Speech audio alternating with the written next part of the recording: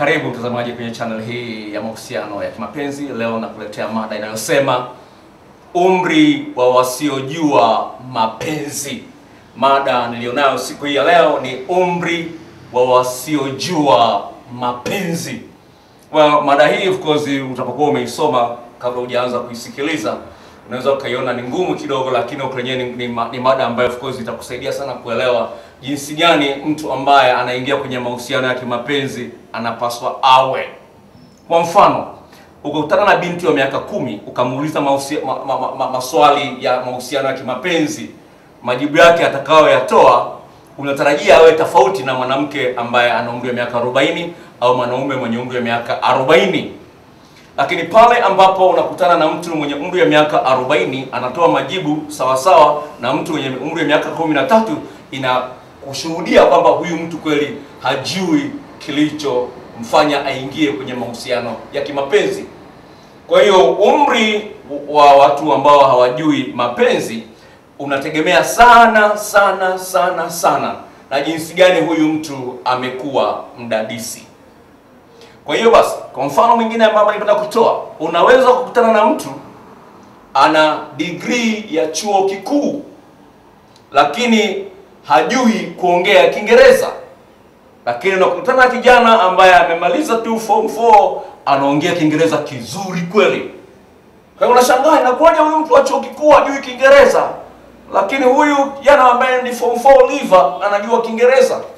Hiyo ni hali ambayo of course inawashtua watu wengi sana, na kuna walimu wa kwenye vyuo vya sekondari, vyuo vya vya eh, vyuo vikuu au vyuo vingine vi, uh, vikubwa hapa nchini ambao hawajui Kiingereza japokuwa wanafundisha kwa Kiingereza.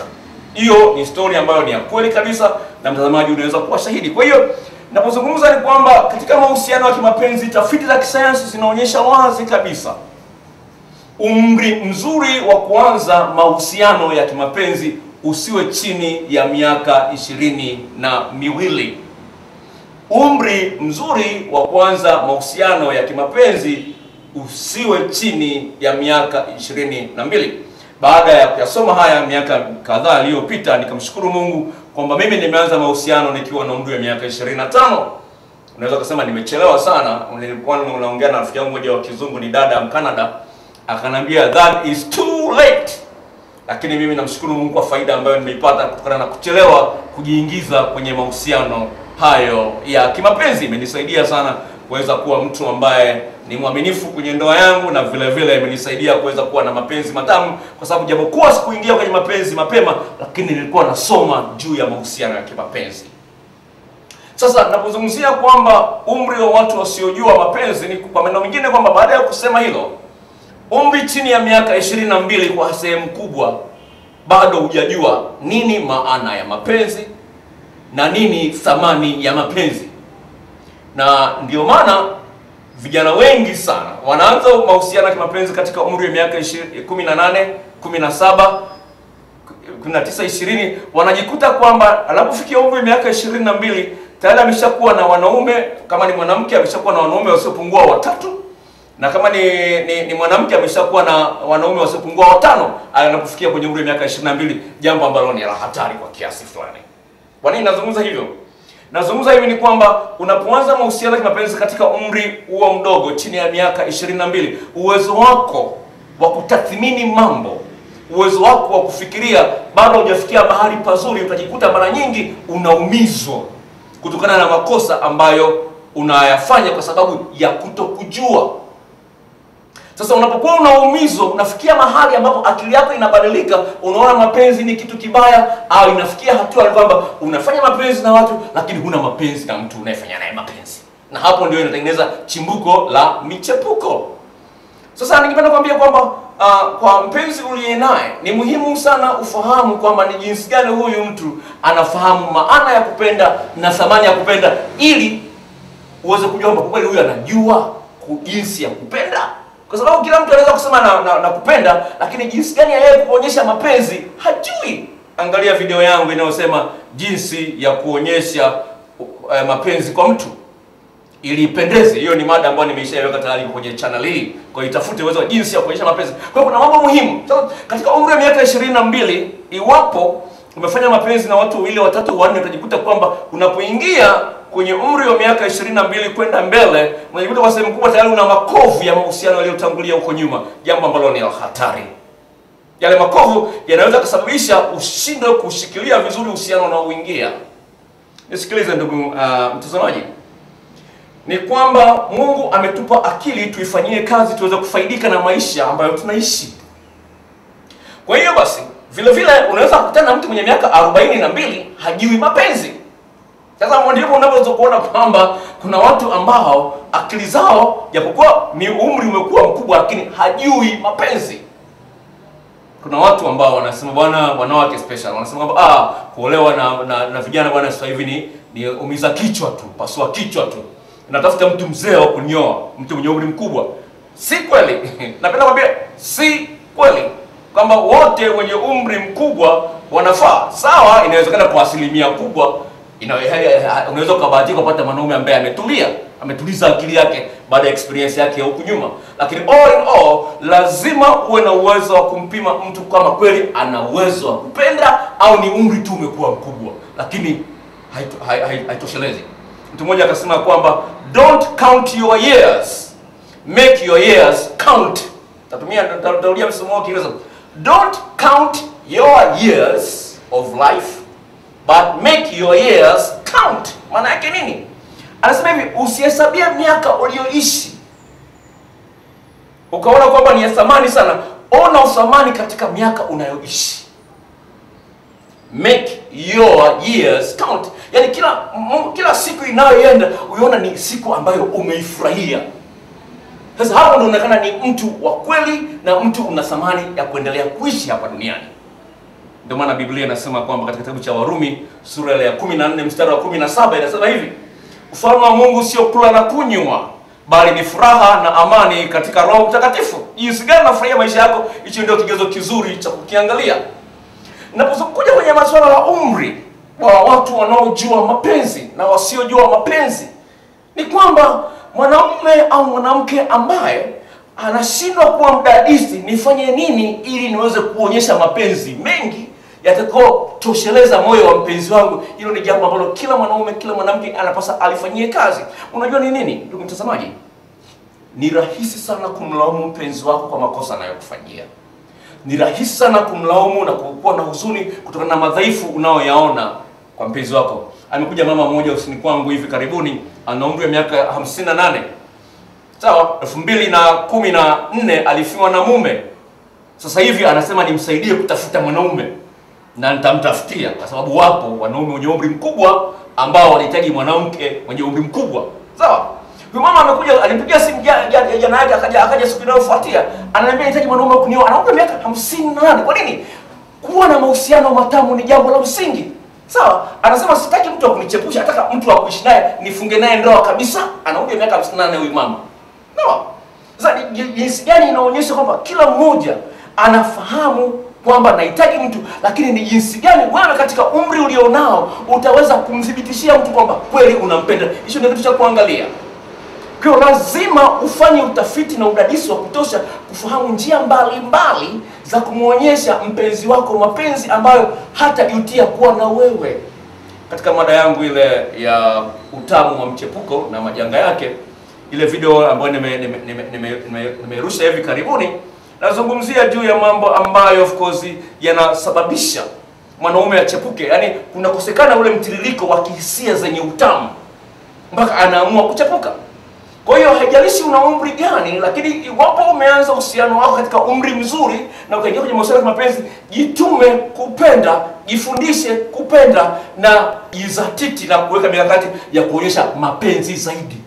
Lazima muangalie kwenye uhusiano ulionao, badala ya penzi kupungua liwe linaongezeka. Sasa kwa watu wengi unakuwa gumu. Kwa sababu gani? Kuna kazi katika kufanya mapenzi, katika, katika kufanya mapenzi yawe matamu zaidi. Kuna kazi. Kwa hiyo usiangalie umri wako. Sasa kwa wale ambao wana umri mkubwa, ningependa niongee nao kwa kumalizia uh, video hii. Ni hivi, unapokuwa na umri mkubwa alafu hujui kupenda, unamweka mpenzi wako mahali pagumu sana. Uwe mwanamke au we mwanaume, unamweka mume wako au mke wako mahali pagumu sana kama hujui kupenda. Napozungumza hivi ni kwamba kwa bahati mbaya katika ulimwengu tulionao sasa hivi unakuta mtu ambaye unaye tayari ameshatembea na wanaume watano au ametembea na wanawake watano kabla yako wewe, kwa hiyo utalinganishwa. Sasa kwa bahati mbaya nyingine kubwa ambayo nimekutana nayo ni kwamba kasi ya watu especially wanawake ambao wameolewa lakini wanarudisha mahusiano na wapenzi wao wa zamani imekuwa kubwa. Ina hizo kesi zimekuja ofisini kwangu, asilimia kubwa ya wanawake. Sawa, kwa makini. Nazungumzia hiki kwa sababu kasi ya wanawake ambao wameolewa lakini bado wanataka kuendeleza mahusiano na mpenzi wa zamani imekuwa kubwa na inatisha. Lakini sio peke yake, nimekutana na kesi za vijana vijana wadogo wanasema, nikimtongoza kijana mwenzangu hanikubali kwa urahisi, lakini nikimtongoza mtu ambaye ameolewa ananikubali kwa urahisi. Sasa hayo yanaonyesha jinsi gani kwenye ndoa kuna mapungufu. Kwa hiyo wewe usiangalie umri wako, sawa, useme haya mambo ni ya vijana. Nakumbuka kitabu changu kinaitwa Ufundi katika Kupenda, nilipokuwa nimekitoa miaka nane iliyopita, kiliuzwa sana. Sasa kuna mtu mmoja alikuwa na viuza maeneo ya Bunda jijini mkoani Musoma mkoani Mara, alikuwa na kitabu changu cha Ufundi katika Kupenda, ni dada. Sasa baba mmoja mwenye mtu, mzima mwenye umri mkubwa akakiona kitabu cha Ufundi katika Kupenda, akasema haya mambo ya vijana. Sasa akakutana na mtu ambaye amekinunua mwenye umri mkubwa kama yeye, kinaonyesha jinsi gani ya kumwandaa mwanamke ili afike kileleni kwa urahisi hicho kitabu. Akakisoma. Baada ya kukisoma, yeye mwenyewe akaenda akanunua, akasema hivi, kitabu kinauzwa shilingi elfu tano. Akasema hata kama kingekuwa kinauzwa shilingi elfu hamsini kwa faida niliyopata mpaka mke wangu ananisherekea hii kitabu hata ingekuza elfu hamsini ningekinunua, ningekuwa najua kwamba mapema kwamba hiki kitaletea faida hii ambayo naiona kwenye ndoa yangu sasa hivi, ningekinunua kitabu hiki hata ingekuwa nazo shilingi elfu hamsini. Kwa nini? Ni kwamba yeye aliangalia umri wake akaona tayari anajua kila kitu. Kwa umri alionao miaka hamsini akajiona kwamba anajua kila kitu, lakini baada ya kusoma yale mambo, alipoyafanyia kazi, akajikuta hajui mambo mengi, alipasa aanze kujifunza. Kwa hiyo jambo la msingi, ndugu mtazamaji, uweze kuangalia jinsi gani wewe kama wewe utaweza kuangalia katika umri ulio nao na uwezo gani wa kuonyesha mapenzi kiasi ambacho mpenzi wangu analiona kabisa kwamba penzi langu hili ni tamu na sahihi na toshelevu. Hicho ndio kitu ambacho kila mmoja anapaswa akifanyie kazi ili kuepusha michepuko na kuepusha uvunjikaji wa ndoa. Napenda nikualike ndugu mtazamaji, naandaa mada nyingine inayosema kwamba aina za michepuko zinazovunja ndoa. Hiyo mada hiyo inakuja hivi karibuni, kwa hiyo naomba ujisajili kwenye channel hii.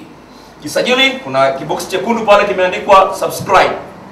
Kibox chekundu pale kimeandikwa subscribe, bonyeza pale, utapewa maelekezo ili uweze kupewa ujumbe wa video mpya ninayoweka kwenye channel hii.